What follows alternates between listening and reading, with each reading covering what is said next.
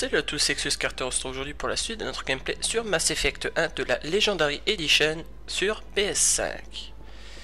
Alors déjà, on va dégager le truc qui, qui se promène voilà, sur la carte. Normalement, j'ai tout enlevé et on va euh, aller à la baie d'amarrage. Si je trouve un truc de voyage rapide, ça pourrait être encore mieux. Ah, il y en a un là-bas.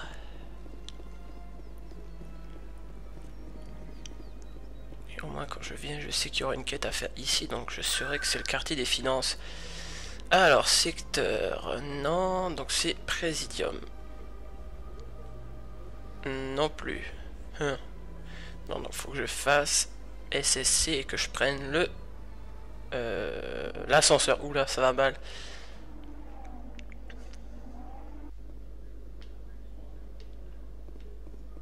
Donc celui-là de la baie d'Amar, je sais plus, je crois que c'est... Ouais, voilà, c'est celui-là. Suite de l'enquête sur les événements d'Eden Prime. Le Conseil viendrait de déchoir l'un de ses agents de son statut de spectre. L'agent, dont l'identité reste inconnue, n'a toujours pas été appréhendé. Mais le porte-parole du Conseil nous a confirmé que la procédure d'arrestation était en cours. Ah, quelques mois après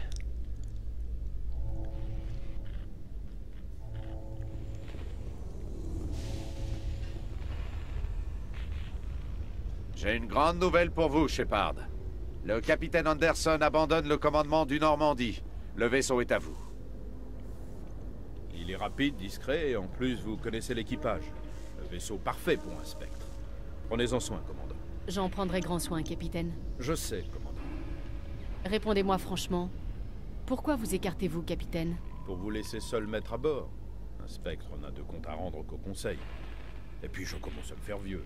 Dites-moi la vérité, capitaine. Vous me devez bien ça. J'étais à votre place il y a 20 ans, Shepard. J'ai failli devenir spectre. Pourquoi vous ne m'en avez pas parlé? Qu'est-ce que vous vouliez que je vous dise? Que j'ai failli passer spectre, mais que j'ai tout fait foirer? J'ai échoué, commandant. Et je n'en suis pas fier, croyez-moi. Posez-moi la question plus tard, je vous raconterai tout.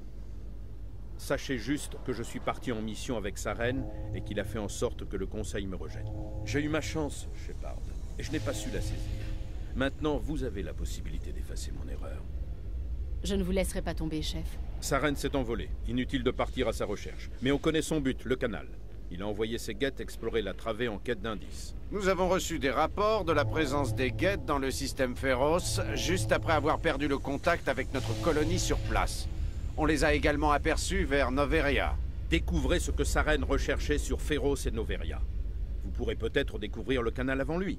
Ce sont les moissonneurs la véritable menace. Sur ce coup-là, Shepard, je suis d'accord avec le Conseil. Je ne suis même pas certain qu'ils existent. Mais si c'est le cas, le canal est la clé de leur retour. Empêchez sa reine d'atteindre le canal et vous empêcherez le retour des moissonneurs. Je l'arrêterai. Nous avons encore une piste. La matriarche Benezia, l'autre personne sur cet enregistrement. Elle a une fille. Une scientifique spécialisée dans l'étude des protéins. Nous ne sommes pas sûrs de son implication, mais autant aller tâter le terrain. Elle s'appelle Liara Tsoni, docteur Liara Tsoni. Aux dernières nouvelles, elle explorait un site archéologique sur un monde non colonisé du secteur Artemisto. Alors cap sur Artemisto. C'est vous qui voyez, commandant. Vous êtes un spectre maintenant. Vous n'avez plus de compte à nous rendre. Mais vos actes représentent toujours l'humanité. Si vous semez la pagaille, c'est moi qui écope. J'essaierai de ne pas vous compliquer la tâche, ambassadeur. Vous m'envoyez ravi, commandant. Et souvenez-vous, spectre certes, mais humaine avant. Je vous laisse, j'ai un meeting. Le capitaine Anderson va répondre à vos questions. Oui, commandant? Comment ça va pour vous? Franchement, ce n'est pas comme ça que j'envisageais ma fin de carrière. La paperasserie, ce n'est pas vraiment ma tasse de thé. Mais vous, vous pouvez arrêter sa reine. Je crois en vous, Shepard. Et si ça signifie que je dois m'écarter, tant pis. Dites-moi ce qui s'est passé entre sa reine et vous. Ça remonte à une bonne vingtaine d'années. À l'époque, c'était l'ambassadrice Goyle qui nous représentait à la citadelle. Tout comme Oudina, elle voulait qu'il y ait un humain parmi les spectres. C'est moi qui ai été choisi. Le conseil a envoyé sa reine pour me surveiller et pour évaluer mes performances. De même qu'il a envoyé Nilus pour vous tenir en laisse. Pourquoi ne pas avoir été honnête avec moi? Parce que je n'en suis pas fier, voilà pourquoi. J'ai eu l'opportunité de devenir le premier spectre humain et... et j'ai échoué. À cause de sa reine. Je crois que vous me devez toute la vérité. Nous étions sur la piste d'un scientifique allié à début. rien. Il cherchait à monter un réseau d'IA clandestine dans la bordure. Tout le crédit de cette affaire revenait au renseignement de l'Alliance. Mais le Conseil tenait à voir intervenir un spectre. Nous avons réussi à transiger. Sa reine devait mener l'enquête, mais je serai son assistant. La trace du scientifique nous a conduit à une raffinerie sur Kamala. C'était sa planque. Et il avait une armée de mercenaires butariens pour assurer sa sécurité. Le plan était simple. Il fallait s'infiltrer dans le complexe, capturer le scientifique et sortir discrètement. Bref, tout en finesse. Et je suppose que quelque chose a mal tourné. Saren et moi, nous nous sommes séparés pour aller plus vite. En plein milieu de la mission, il y a eu une énorme explosion dans le réacteur de la raffinerie. Comme par hasard. Officiellement, c'était un accident. Mais je suis persuadé que c'est Saren qui a déclenché l'explosion pour faire diversion. Combien de victimes? La raffinerie a été pulvérisée. Il n'y avait plus qu'un immense brasier qui dégageait des nuages toxiques. Personne à l'intérieur n'a survécu. Tu m'étonnes. Il y avait un camp d'ouvriers et leurs familles juste à côté. Entre l'explosion, les incendies et les émanations toxiques, il y a eu plus de 3000 morts. Des civils, pour la Évidemment, il t'a tout fait porter, il t'a fait porter le chapeau. On avait abattu la cible et accompli la mission. Et c'est moi qui ai endossé la responsabilité des victimes. C'est pour ça que je n'ai finalement pas intégré les spectres. C'est Saren qui a provoqué l'explosion. Il a pu vous coller ça sur le dos Dans son rapport, Saren m'a accusé d'avoir grillé sa couverture pendant l'enquête. Selon lui, l'échec de l'infiltration, le carnage, tout ça c'était ma faute. Le rapport de Saren était la preuve dont le Conseil avait besoin pour anéantir mes chances de devenir spectre. Vous n'avez aucune raison de vous en vouloir, capitaine. Ce n'est pas à moi que j'en veux, c'est à Saren. Je crois qu'il voulait ce fiasco. Il cherchait un prétexte pour détruire cette raffinerie. Peut-être qu'il aime juste la violence. Peut-être qu'il voulait me discréditer pour empêcher les humains de devenir spectres. Si c'est le cas, il a réussi son coup. Pourquoi vous l'avez laissé s'en tirer? Qui croyez-vous que le Conseil aurait écouté? Moi ou son meilleur agent? Dès le début, il ne m'inspirait pas confiance. J'aurais dû me méfier. J'aurais peut-être pu tout arrêter avant qu'il ne soit trop tard. Vous n'avez aucune raison de vous en vouloir, capitaine. Ce n'est pas à moi que j'en veux. Peut-être qu'il aime juste la violence. Peut-être qu'il voulait... La seule chose qui compte pour moi, c'est arrêter Saren. Vous avez raison, commandant. Inutile de ressasser le passé. Je veux savoir la vérité. Ah non, non, non, non. J'ai déjà eu le droit à ça. Vous avez raison, commandant. Inutile. de Vous auriez ressasser. des informations complémentaires sur la colonie de Féroce Toute cette planète était jadis une immensité protéenne. Tout est tombé en ruine, bien sûr, mais une partie des infrastructures est encore utilisable. La colonie s'est établie sur les vestiges de la civilisation protéenne. Nous avons perdu tout contact avec elle quand les guettes ont attaqué.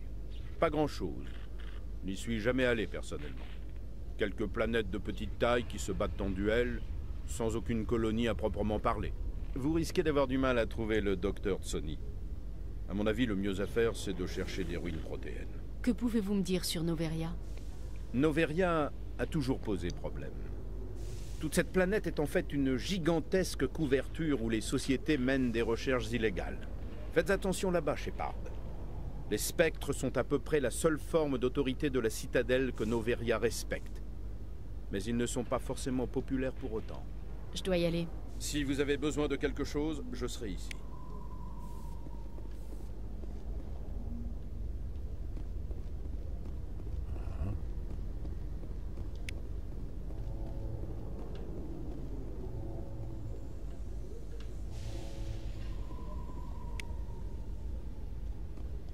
Le Normandie est vraiment incroyable, Shepard. C'est un véritable honneur de servir à son bord. Une baie d'amarrage privée.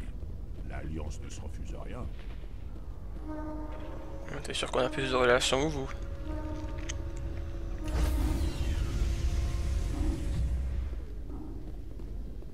Commando, départ imminent. Décontamination en cours. Je suis au courant pour le capitaine Anderson. Survivre à des centaines de batailles, tout ça pour finir poignardé par des politiciens. Prudence, commandant.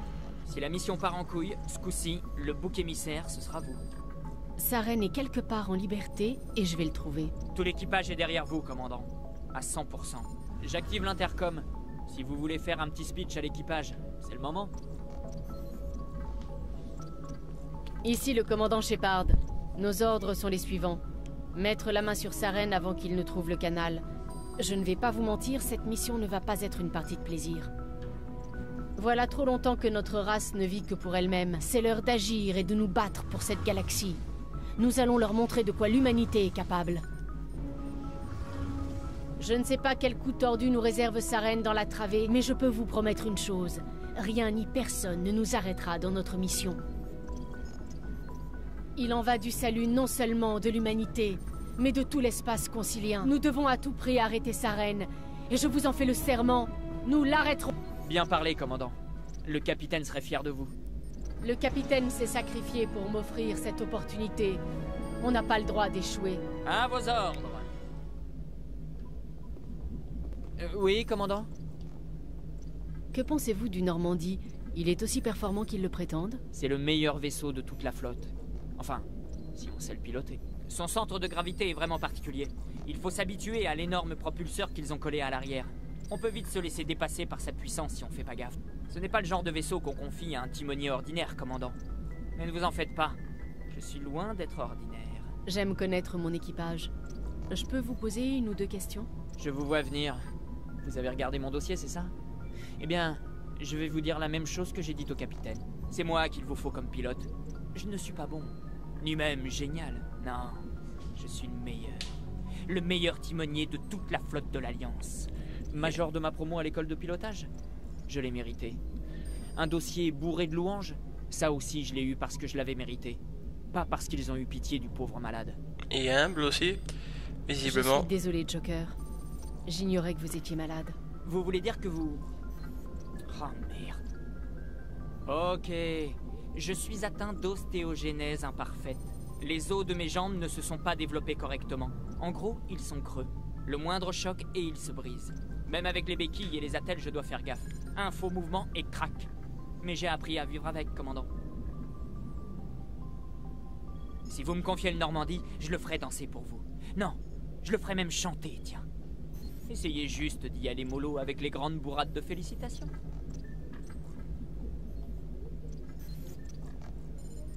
Pourquoi tout le monde vous appelle Joker C'est un poil plus court que lieutenant de l'Alliance Jeff Moreau. Et puis, j'adore faire marrer les gamins. Vous ne répondez pas à la question. Bon, c'est pas moi qui ai choisi. Il y avait une institutrice à l'école de pilotage qui disait que je ne souriais jamais. Du coup, elle s'est mise à m'appeler Joker. C'est resté. Pourquoi vous ne souriez jamais Je bossais comme un dingue à l'école de pilotage, commandant. C'est pas en montrant ses dents comme un con qu'on arrive à quelque chose dans la vie. À la fin de l'année, j'étais devenu le meilleur pilote de l'académie. J'avais même surpassé les instructeurs. Et tout le monde le savait. Ils ne pensaient pas se faire avoir par le petit palichon avec ses os de verre. Eux qui voulaient tant me voir sourire. Ils ont été servis le jour de la remise des diplômes. Je voudrais en apprendre plus sur cette maladie des os de verre. Je dois savoir à qui je confie mon vaisseau. Je m'en doute. C'est une maladie extrêmement rare dont on ignore la cause. Probablement d'origine génétique. Il existe des traitements, mais elle est incurable. Je suis dans la catégorie moyen à sévère. J'avais une dizaine de fractures à la naissance. Hanches, fémur, cheville. Mes os se brisaient déjà dans le ventre de ma mère. Il y a un siècle, je n'aurais pas passé mon premier anniversaire. Mais la science moderne m'a permis de mener une vie active et heureuse. Et vous ne risquez pas de vous casser un truc en pilotant le vaisseau? Je pilote pas avec les pieds, commandant. Du moment que je suis aux manettes, tout baigne. Je dois juste faire gaffe quand je vais pisser. Je peux faire mon boulot aussi bien qu'un autre. Oui, il a trouvé le moyen de faire le, le- de sa maladie une force, quoi. Vu qu'il reste assis en théorie toute la, jo- toute la journée, bah forcément, s'il bouge pas, il a forcément moins de risque de, de se fracturer quelque chose. Désolé, je ne voulais pas vous ennuyer avec ça. Parlons d'autre chose. C'est vous le chef Pourquoi avez-vous rejoint l'Alliance? Je vous préviens, si vous vous attendez à l'histoire poignante du petit infirme qui surmonte tous les obstacles, vous allez être déçus. Oh, je suis sûr qu'il y a un peu de ça L'entreprise quand ma même. mère travaillait pour l'Alliance. J'ai grandi sur Arcturus, à l'époque où ils construisaient les flottes. À force de voir des vaisseaux de l'Alliance à longueur de temps, j'ai atterri à l'Académie. Je dois y aller Je ne vous retiens pas.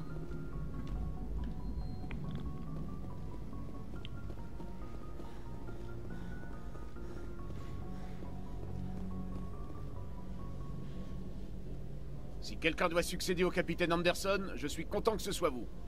Par contre, avoir des non-humains à bord, ça ne m'emballe pas des masses. On fait tous partie de la même équipe, Presley. Sauf votre respect, commandant, c'est ce qu'il disait de Nilus. Vous connaissez la suite. Parlez franchement, Presley. J'aimerais savoir si vous avez un problème avec les non-humains. Ce n'est pas ça, commandant. L'humanité a toujours géré ses problèmes toute seule. Sa reine a attaqué l'une de nos colonies, c'est à nous de l'arrêter. On n'a pas besoin d'eux. Penser qu'un appel à l'aide est un signe de faiblesse, c'est être idiot et borné. On est toujours plus fort avec des alliés à ses côtés. Je suppose, je suis peut-être un peu vieux jeu. Mais ne vous inquiétez pas, commandant. Je ne conteste pas vos décisions. J'espère Comment bien. avez-vous été affecté sur le Normandie Je me suis engagé comme navigateur dès ma sortie de l'école. J'ai suivi les traces de mon grand-père. Mon premier poste a été sur l'Agincourt. Nous avons été parmi les premiers renforts à atteindre Elysium après le raid. Ces pirates n'étaient pas de taille contre une frégate de l'Alliance. Bien entendu, la seule raison pour laquelle la colonie était encore debout, c'était vous, commandant. C'est un miracle que vous ayez pu tenir aussi longtemps. Comment êtes-vous arrivé sur le Normandie J'ai été nommé officier après Elysium. Il faut croire que j'avais impressionné les bonnes personnes. Le capitaine a fait appel à moi lorsqu'il a recruté son équipage. Reprenez le travail, Presley. Oui, chef.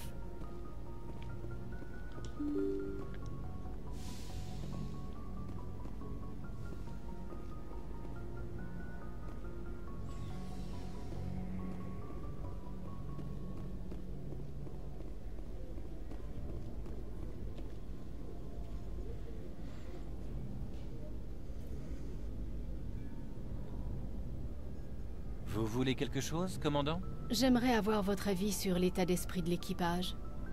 Je vous ai assez fait perdre de temps, commandant. On en reparlera plus tard. J'aimerais avoir votre avis sur notre dernière mission. On a fait tout notre possible. Il aurait fallu arriver plus tôt. Et aucun autre vaisseau de l'Alliance n'aurait pu arriver avant nous. On reparlera de tout ça une autre fois, lieutenant. Commandant?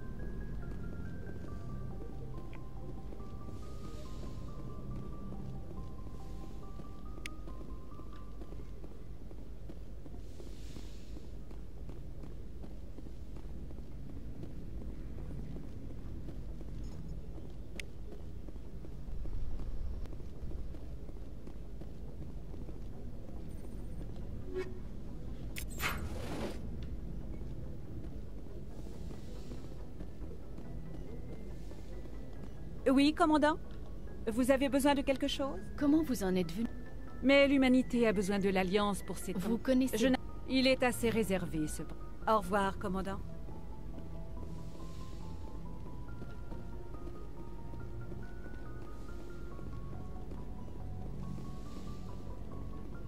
On va aller faire un tour dans la soute.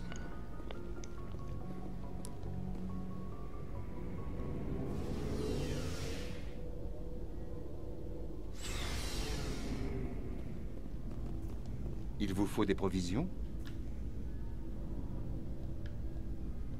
À vos ordres, commandant.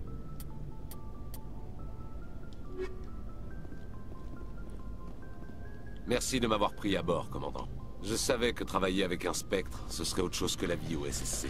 Vous aviez déjà travaillé avec un spectre? À vrai dire, non. Mais je les connais. Les spectres suivent leurs propres règles. Vous agissez comme vous l'entendez. Au SSC, on est entravé par les règles. Ces foutus bureaucrates sont toujours derrière vous. S'il y a des règles, c'est souvent pour une bonne raison. Peut-être. Mais parfois, j'ai l'impression qu'elles sont surtout là pour m'empêcher de faire mon boulot. Si j'essaie de faire tomber un suspect, la manière ne devrait pas être importante. Tant que le résultat est là. Mais le SSC veut que les choses soient accomplies suivant ses règles. Le protocole d'abord. Quoi C'est pour ça que vous avez jeté l'éponge? Attendez d'entendre la suite. C'était pas si mal au début. Mais plus je gravissais les échelons, plus je devais me coltiner la paperasse. Il n'y a qu'à voir comment le SSC a expédié l'affaire Saren. Je ne suis pas du genre à baisser les bras, mais, mais là... J'espère que vous avez fait le bon choix. En même temps, c'est trop tard pour faire machine arrière. En fait, c'est un peu pour ça que je vous ai rejoint. Pour tourner le dos à la citadelle, prendre un peu la température de la galaxie. Enfin bref, j'ai bien l'intention d'en profiter. Et puis, sans mes supérieurs, j'aurais peut-être une chance de faire le boulot à ma manière pour une fois. Si votre manière, c'est de mettre en danger des vies innocentes, alors c'est non. On fait le boulot bien et non vite. Compris? Je ne voulais pas... Entendu, commandant. Ravi de vous revoir, commandant.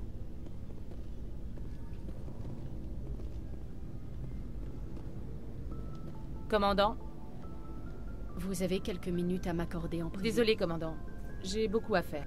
Mais un peu plus tard, ce sera avec plaisir. Quelle est votre opinion sur notre dernière mission? Vous auriez pu arriver plus tôt, commandant. Ne le prenez pas mal. Heureusement que vous étiez là. Mais j'aurais préféré que... Vous auriez préféré que toute votre unité soit sauvée Oui, chef. Si j'avais été plus vigilante, on aurait pu éviter cette embuscade. Les guettes sont redoutables à ce jeu-là. Ils peuvent rester immobiles, ils ne font aucun bruit. Ils ne respirent même pas. Chef, leur tête, c'est un light Je ferai en sorte que ça ne se reproduise plus. Rompez artilleur. Chef, Joli vaisseau que vous avez là, Shepard. Qu'est-ce que vous voulez? Et vous, Vrex C'est quoi votre histoire? Y a pas d'histoire. Si vous voulez des histoires, allez voir la Carienne. Un Krogan, ça vit plusieurs siècles. Ne me dites pas que vous n'avez pas vécu quelques aventures. Eh bien, il y a eu cette fois où les Turiens ont failli nous exterminer. Ça, c'était marrant. J'en ai entendu parler. Ils nous ont fait quasiment le même coup, vous savez Non, c'est pas pareil. On dirait pourtant. Alors votre peuple a été contaminé par une mutation génétique. Une infection qui fait que seul un enfant sur mille survit à la naissance. Et j'imagine que ça détruit toute votre race. D'accord, ce n'était pas tout à fait pareil. Je n'attends pas que vous compreniez. Mais ne comparez pas le destin des Krogan à celui de l'humanité. Je voulais simplement discuter, je voulais pas vous contrarier. Votre ignorance ne me contrarie pas, Shepard. Et pour les Krogan, ça fait un bail que j'ai laissé tomber. Le génophage nous a infectés, mais ce n'est pas ça qui nous fout en l'air. Votre peuple est vraiment en voie d'extinction? On ne devient pas plus fort, ça c'est sûr. On est trop dispersés. Aucun d'entre nous n'a envie de rester dans son propre système. De nombreuses espèces ont prospéré loin de leur monde d'origine. Ouais. En colonisant de nouvelles planètes. Nous, on est des guerriers, pas des colons. On aime le sang. Alors ou pas, on se loue au plus offrant. La plupart d'entre nous ne revient jamais. Qu'est-ce que vous pouvez me dire sur le génophage? Si vous voulez des détails, demandez aux Galariens. C'est eux qui l'ont mis au point. Tout ce que j'en sais, c'est qu'il rend la reproduction quasi impossible. La plupart des enfants meurent à la naissance, voire avant. Tous les Krogan sont infectés. Tous. Et personne ne se précipite pour trouver un remède. Même pas les Krogan eux-mêmes? Vous en avez déjà vu des blouses blanches chez les Krogan? Demandez-nous si on préfère trouver un remède au génophage ou se battre pour des crédits. On choisira la baston à chaque fois. C'est de nature, Shepard. Je n'y peux rien, ni moi, ni personne. À plus tard, Vrex. Shepard.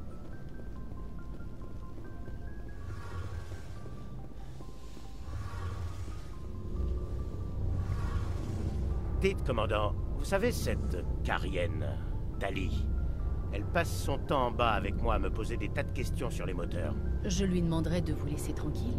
Hein? Mais non, c'est un sacré bout de femme celle-là. J'aimerais bien que mes gars soient à moitié aussi futés qu'elle. D'ici un mois, elle en saura plus sur nos moteurs que moi. Avec tout ce qui est technique, elle sait vraiment y faire. Je comprends pourquoi vous vouliez qu'elle vous accompagne. Je me suis dit que ce serait un atout pour l'équipe. Vous savez vous entourer, commandant. Mais ce n'est sans doute pas pour ça que vous venez me voir. Où avez-vous servi auparavant, Adams? Donnez-moi le nom d'une classe de vaisseau de l'Alliance et j'aurai sans doute servi dessus. Cuirassé, porte-chasseur, frégate, j'ai tout fait. Ma dernière affectation, c'était sur le Tokyo. Sacré bon vaisseau pour un petit croiseur. Enfin, bien sûr, il ne valait pas tripette à côté du Normandie. Parlez-moi du système furtif PTI. Comment ça marche exactement? Dans l'espace, pas moyen de cacher un vaisseau. Ça émet trop de chaleur et de radiation pour échapper au capteur. Mais par contre, ces émissions, on peut les emprisonner. C'est ça, le principe du système furtif. Piéger l'énergie qu'on émet dans des puits de stockage internes, construits à l'intérieur même du vaisseau. Il n'y a donc plus d'émissions pour signaler notre position. Évidemment, il faut ensuite vider les puits. Après quelques heures de fonctionnement silencieux, ils surchauffent. On risquerait de cuire dans notre propre coque, façon œuf. Donc personne ne peut nous détecter. Bah si, avec un bête balayage visuel.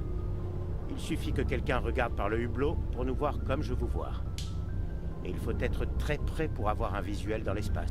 La plupart des vaisseaux se fient à leur scanner. Tant que le système furtif est activé, ils ne peuvent pas nous voir. Sauf si on passe en SLM. Pourquoi ça ne marche pas en vol supraluminique? Le passage en SLM décale nos émissions vers le violet et les pousse vers des fréquences trop élevées pour être piégés dans les puits. Bref, faire un saut, ça revient à envoyer une fusée éclairante. Les capteurs peuvent déceler notre position dès qu'on entre ou sort du vol SLM.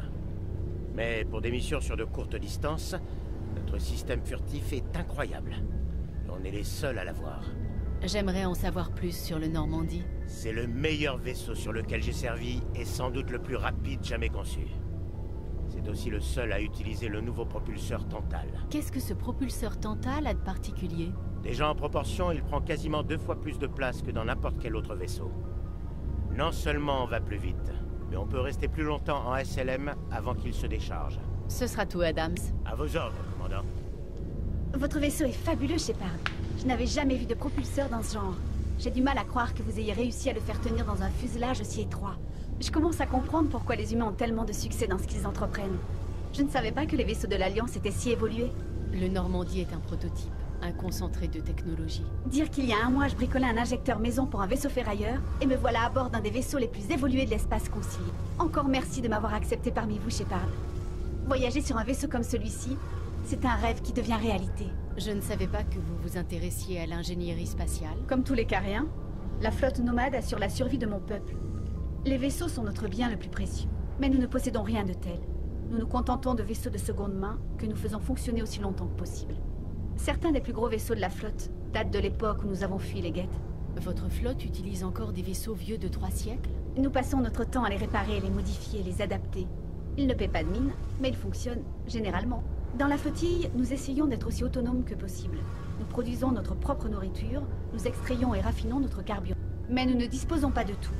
Préparer une déchirure de la coque nécessite des matières premières que nous n'avons pas. D'où l'importance de nos pèlerinages. Parlez-moi de votre peuple. Nous n'avons pas une vie facile. Nous devons constamment chercher des ressources. La moindre de nos actions doit servir la flotte nomade. Nous sommes 17 millions. Chacun compte sur les autres pour assurer sa survie. Bref, mon peuple est très soudé. Malheureusement, nous avons dû abandonner une grande partie des libertés civiles que les autres espèces considèrent comme acquises.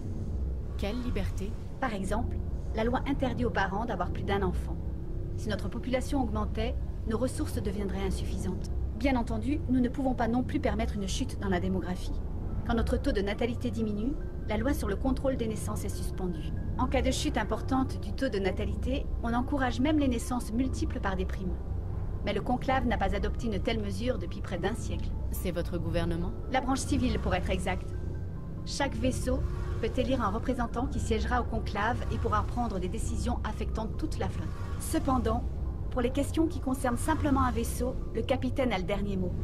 C'est une tradition qui remonte à l'époque de la loi martiale. Heureusement, la plupart des capitaines de nos jours sont assez intelligents pour s'appuyer sur un conseil de bord élu par l'équipage. Alors le pouvoir est aux mains de représentants élus? Dans la pratique, oui. Notre vie quotidienne est régie par le conclave et le conseil de bord de chaque vaisseau. Mais en théorie, nous sommes toujours soumis à un pouvoir militaire. Les cinq officiers les plus gradés de la flotte siègent à la commission de l'amirauté. En cas d'urgence, ils disposent d'un droit de veto sur tout décret du conclave. Deux conditions à cela. Leur décision doit être unanime et l'utilisation de ce droit met fin à leur mandat. C'est un garde-fou qui a prouvé son utilité. En trois siècles, la commission n'a utilisé son veto que quatre fois. J'aimerais en savoir plus sur les guettes. Je doute de pouvoir vous en apprendre plus. Cela fait trois siècles qu'ils nous ont forcés à l'exil. Je ne connais que l'histoire de leurs origines, depuis leur création jusqu'à leur révolte. Intéressant. Les guettes ont été créées pour servir de main-d'œuvre automatisée. À l'origine, leur intelligence était aussi limitée qu'une IV classique. Au fil du temps, nous avons effectué de petites modifications dans leur programme pour leur permettre d'accomplir des tâches plus variées et complexes. Résultat, une intelligence de plus en plus proche de l'IA véritable. Parce que ce n'était pas de la recherche d'IA à proprement parler. Nous étions aux limites de la légalité, mais nous ne les avons jamais franchis. Chaque changement était trop insignifiant, trop progressif pour causer le moindre problème. Tout était sous notre contrôle. Tout, sauf une chose. Leur réseau neural. Quand un million de guettes réfléchissent simultanément, la matrice devient profondément instable. Les guettes partagent leur capacité de raisonnement De nombreux systèmes logiques qui les composent ont été conçus pour se synchroniser à ceux des autres guettes à proximité. En somme, plus ils sont nombreux, plus ils sont intelligents. Alors ils possèdent une sorte de conscience collective Non, pas du tout. Ils ne peuvent pas partager des données sensorielles ni des instructions. Leur code ne leur permet pas de traiter autant de tâches simultanément. Chaque guette possède une conscience et une identité propre. Le réseau neural ne fonctionne qu'en termes de puissance CPU. Disons que c'est l'équivalent artificiel du subconscient. Mais lorsqu'ils sont à proximité les uns des autres, Ils peuvent synchroniser leurs opérations fonctionnelles de bas niveau et donc allouer plus de puissance de calcul aux opérations de haut niveau. Ça n'a aucun sens. Je simplifie à l'excès. Les Geth sont des organismes incroyablement avancés et complexes. Retenez simplement que plus un groupe comporte d'individus, plus ces individus sont intelligents. Plus nous construisions de Geth, plus leur intelligence devenait sophistiquée, abstraite. Jusqu'à ce que pour la première fois, un Geth questionne son contremaître. Suis-je en vie? Pourquoi suis-je ici? Quel est mon but? Vous vous en doutez. Cet incident a semé la panique parmi les Cariens. Je ne vois pas ce qu'il y a de mal à se poser des questions. Les Geth ont été créés pour accomplir des travaux manuels ingrats, dangereux ou répétitifs. Pour des machines, pas de problème. Mais pour une créature intelligente, c'est autre chose. Les Geth montraient des signes rudimentaires de raisonnement indépendant et cartésien. S'ils étaient intelligents, alors nous les utilisions comme esclaves. Il semblait inévitable que les Geth, fraîchement dotés d'une conscience, se révolteraient contre leurs conditions de vie. Nous savions qu'ils se retourneraient contre nous. Alors, nous avons pris l'initiative. L'ordre de désactiver tous les Geth de façon permanente fut envoyé à tous les systèmes cariens. Les Geth y réagirent par la violence. Vous ne pouvez pas leur en vouloir de s'être défendus pour assurer leur survie. Nous n'avions pas d'autre choix. Les Geth étaient sur le point de se soulever. En agissant rapidement, nous avions une chance de mettre fin à la guerre avant qu'elle ne commence. Nous espérions que la plupart des Geth seraient juste un peu plus développés que des machines, et donc incapables de résistance organisée. Mais ils avaient évolué beaucoup plus vite que nous le pensions. La guerre fut longue et sanglante. Les Cariens tombaient par millions sous les assauts des Geth. Finalement, il n'y eut plus d'autre choix. Il fallait fuir notre monde natal. Nous avions peur que les Geth nous poursuivent, mais ils n'ont jamais dépassé la limite du voile. Et maintenant, nous parcourons l'espace, exilés en quête d'un moyen de reconquérir le monde qui était le nôtre. Difficile de compatir. Vos ancêtres ont tenté d'exterminer une autre espèce. Notre seule erreur a été de créer les Geth, pas de partir en guerre contre eux. Si nous n'avions pas agi, ils nous auraient massacrés. C'est une forme de vie artificielle. Ils n'ont aucun besoin des espèces organiques. Aucun. Pourquoi pensez-vous qu'ils se sont coupés du reste de la galaxie? Qu'ils tuent toute créature organique qui tente d'établir un contact avec eux Et sa reine Ils ne l'ont pas tué, lui. Et qu'en déduisez-vous? Les Geth ne sont pas des victimes innocentes, Shepard. Ils veulent nous détruire. Pas seulement les Cariens. Toute vie organique. C'est pour ça qu'ils se sont joints à Saren, et c'est pour ça qu'il faut l'arrêter. J'aimerais en savoir plus sur votre pèlerinage. Lorsque nous atteignons notre maturité, nous quittons notre flottille natale et nous cherchons à nous intégrer à un nouvel équipage. C'est nécessaire pour préserver la diversité génétique de la flotte. Mais aucun vaisseau ne peut s'embarrasser d'un point mort, alors pour prouver notre valeur, nous entamons un pèlerinage. Nous quittons la flottille et nos familles pour ne rentrer qu'après avoir trouvé une chose de valeur. Cette chose, nous l'offrons au capitaine du vaisseau que nous voulons rejoindre. S'il l'accepte, nous intégrons l'équipage. Ça peut arriver qu'un capitaine refuse Rarement. Leur statut social est proportionnel à la taille de leur équipage. Donc en général, ils ne demandent pas mieux. Même lorsqu'un présent n'est pas particulièrement intéressant, le capitaine l'accepte, par tradition. Cependant, il peut y avoir des conséquences. Offrir un présent de peu de valeur peut constituer un obstacle à l'intégration. La plupart des pèlerins s'efforcent donc de soigner leurs cadeaux. J'ai du mal à croire qu'ils vous laissent partir seuls. Ce n'est pas comme si nous étions bannis. Avant de partir, nous suivons des cours sur la survie en dehors de la flottille. Et on nous remet des cadeaux pour nous aider dans notre aventure. Nous recevons également des implants pour combattre les maladies. À force de vivre dans un environnement isolé et hautement contrôlé depuis des générations, nos systèmes immunitaires se sont affaiblis. Quand nous quittons la flottille, nous sommes bien équipés pour le pèlerinage. Tous les cariens passent par ce rite. S'il était vraiment dangereux, notre démographie en souffrirait. Quasiment tous les pèlerinages se terminent sur un retour triomphal et la présentation rituelle du cadeau à l'un des capitaines de la flotte. J'aimerais parler d'autre chose. Comme quoi? Je dois y aller. À plus tard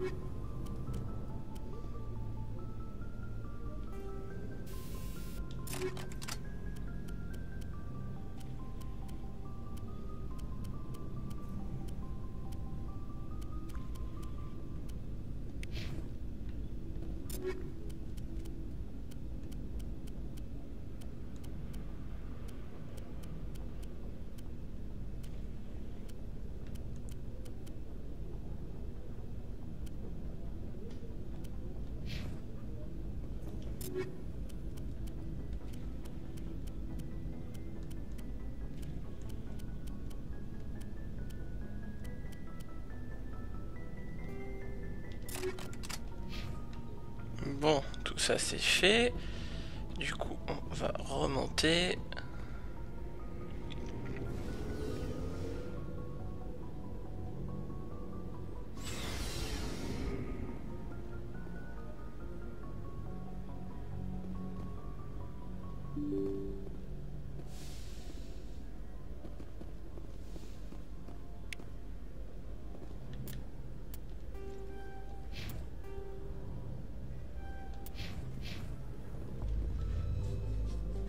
Faire la mission, on va faire un peu d'exploration.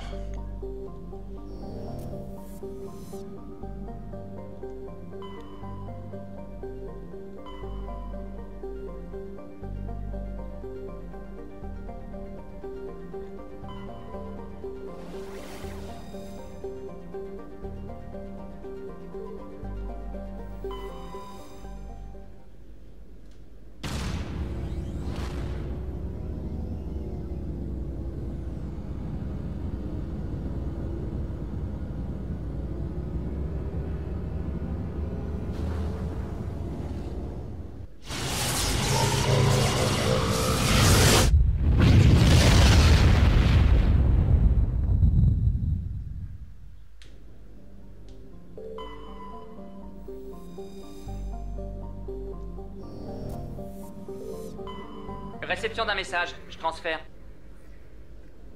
Appel de détresse. Transport médical, Sequel Angel Défaillance système critique. Perte de puissance. Atterrissage d'urgence. Ghost répète. Argos Transmission vont lâcher. Système de survie. Transpondeur de secours. Pour longtemps. Faites vite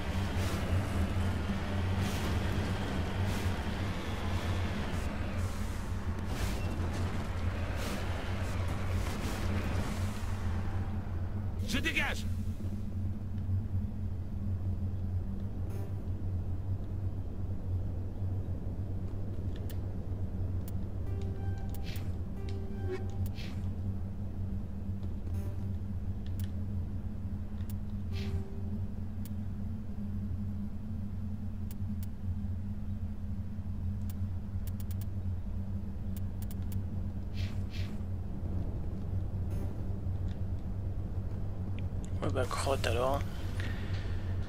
Euh,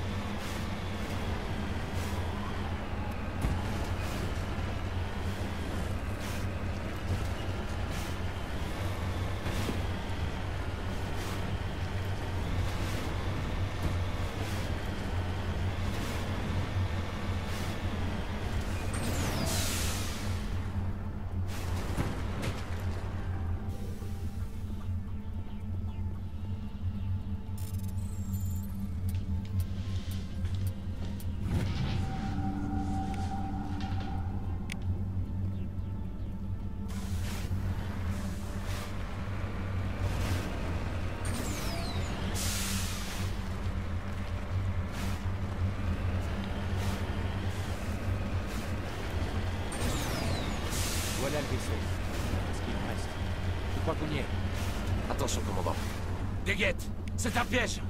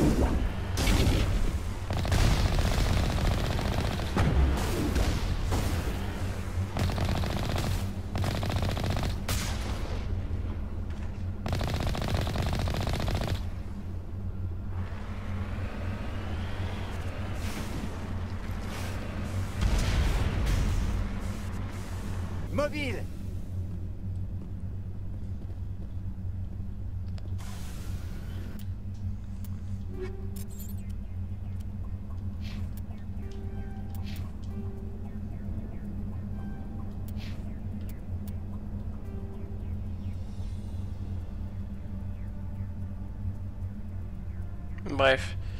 Hop, retour. Ah merde, j'aurais peut-être dû attendre. Je vais réatterrir. On peut peut-être voir des trucs en étant plus près.